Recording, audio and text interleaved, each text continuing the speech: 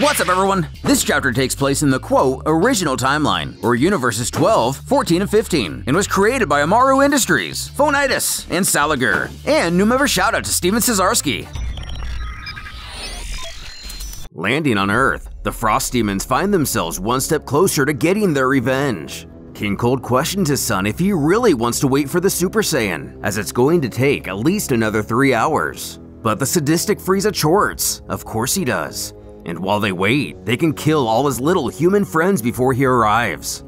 Not far away, Vegeta must confess something to our heroes. This is undoubtedly the end of their planet. When the Emperor commands his underlings go span out and kill all Earthlings. Spotting his henchmen flying overhead, Piccolo calls out the invasion has begun. The prince only scoffing how typical it is for the tyrant to send his grunts to do all the legwork. Regardless, they have to find a way to stop Frieza's army, all while using as little energy as possible as to not draw attention. The Z-Fighters zipping into action. Only Bulma, Puar, and Vegeta remain. Venturing far to the north, a few soldiers spot a town at last. As one is struck by what appears to be a large rock. Below, Krillin and Gohan stand before him, ready to defend all nearby innocents. Though underestimating the pair, the apparent leader taunts, Well, well, what do we have here? To the west, one henchman questions what the average power of a human is, the other merely sighing, Very low.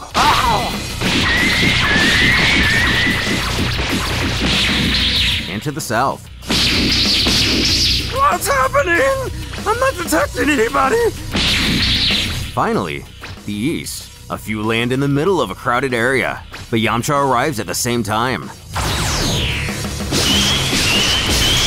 But even while being heroic, he manages to pull a.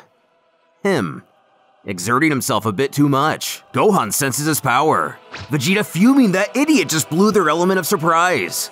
Bulma brings up a fair point, and at least he's doing something. Reporting back to his master, a soldier alerts they've lost touch with all forces. They've all simply vanished, noting they've spotted powers of over 5,000, but only popping up on the scouter for a very short moment. Knowing they've been found out, Tien and Piccolo rush back, the Namekian volunteering to hold him off as long as he can, apparently learning nothing in his death against the Saiyans, urging Tien to regroup with the others and not make his presence known. The Frost Demons rise into the air, as Frieza is aghast to see Piccolo here. All the Z-Fighters together as planned. Tien is furious Piccolo is going to be the one to pay for their screw-up. As something else catches Gohan's attention. Goku! His father is returning home! Frieza telling this to Piccolo, and the Namek telepathically relaying it to the boy. Krillin excitedly spouting this changes everything. Now they only need to hold out long enough for him to arrive. Predictably overpowering Piccolo with ease. Frieza goes to deliver the finishing blow, when Gohan screams for his mentor, but showcasing the same result. The tyrant growls the pair can die together. When Goku arrives, commanding Frieza stop. Amazed to see his adversary on this world so soon, the Saiyan taunts he attack him first, if he dares. Not hesitating to do so. The Emperor barks Goku is no match for him anymore. His father believing he's dead already. Frieza knows there's no way a single blast would be enough. Tightening his hold on Gohan, screaming for Earth Zero to show himself, or he'll start the slaughter by killing this child. Bastard! Yamcha of all fighters charges the invader, with tears in his eyes. Though his foe is able to dodge, this causes him to release his hold on Gohan.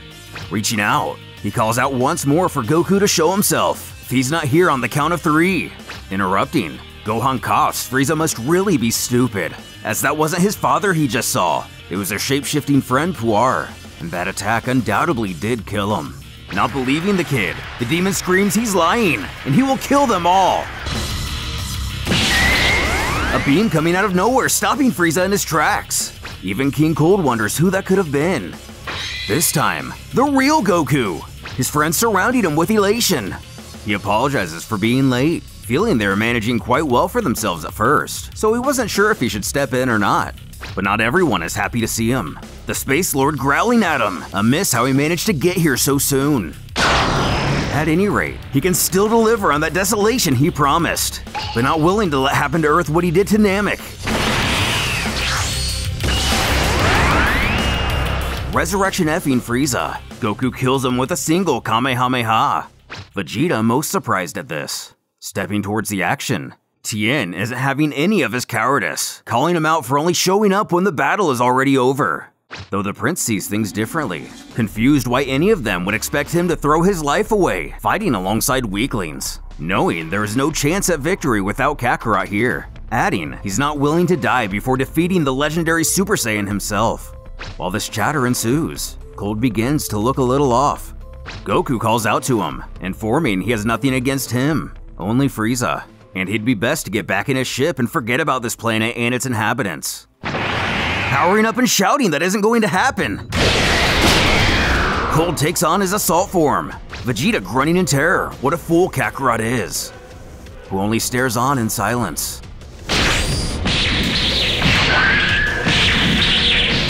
Even though being knocked to the ground, Gohan proclaims his faith in his father, sensing he's much stronger than he was on Namek. Which may be the case, but he still appears to be struggling early on. Krillin and Piccolo feeling pessimistic, knowing here and now, this monster is stronger than Goku, and he still has one more transformation up his sleeve in case this isn't enough. Tien baffled how a single being could house this much energy.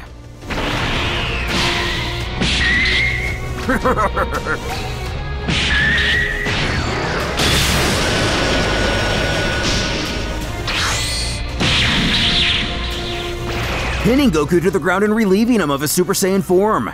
Cold gazes down at his foe, laughing how pathetic he is. We have to help him!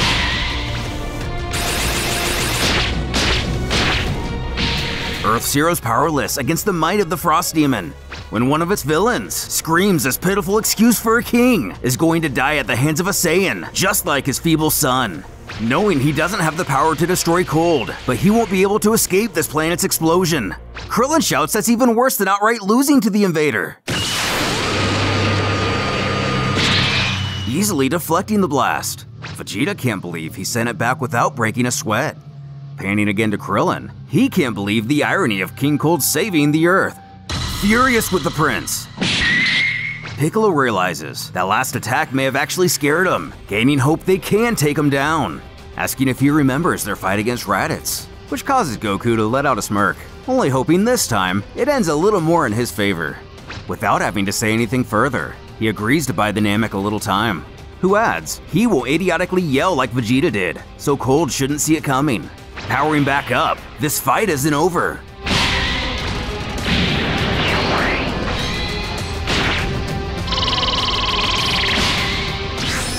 Angrily asking if Goku just plans to keep running away.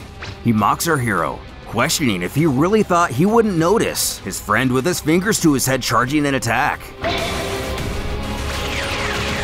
But it's actually Tien he's referring to. Blocking the technique, he chorts. Was that supposed to?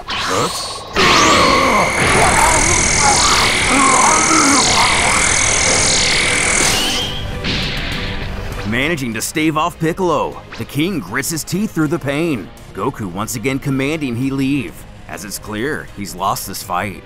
Staggering towards him, Cold stutters he will never retreat, not until he kills every last one of them. Arguing he's no longer in a position to threaten anyone, Goku insists he should consider himself lucky to be alive. You're so naive, Kakarot!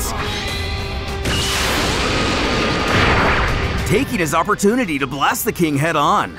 This time, Vegeta succeeds, reiterating what he shouted before. Death at the hands of a Saiyan condemning the prince for his actions. Piccolo has to actually stand up for Vegeta on this one, agreeing he indeed can be quite naive. Even Yamcha on his side. After all, he probably would just come back mechanized and ready for revenge. But no matter how many choose to side with logic, Gohan is merely happy to have his father back, embracing him and joyfully expressing how much he and Chi-Chi missed him. Remembering his wife is a thing, he resolves to head home putting his fingers to his forehead, about to show off instant transmission for the first time.